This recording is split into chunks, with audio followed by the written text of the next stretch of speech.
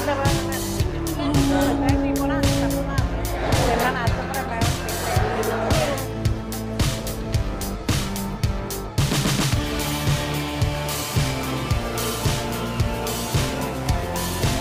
is a hat received from temple this time. So each and every unit they are segregated and uh, do it for standard free.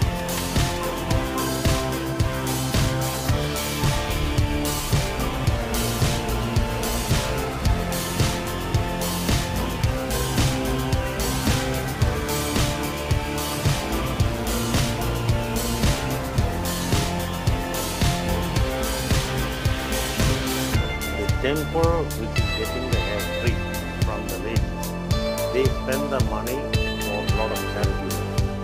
They give poor people feeding, they run universities, they run hospitals.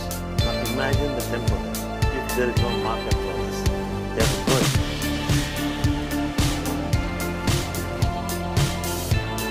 Ces cheveux, ils viennent d'Inde. C'est la meilleure qualité de cheveux qu'on peut trouver aujourd'hui en extension.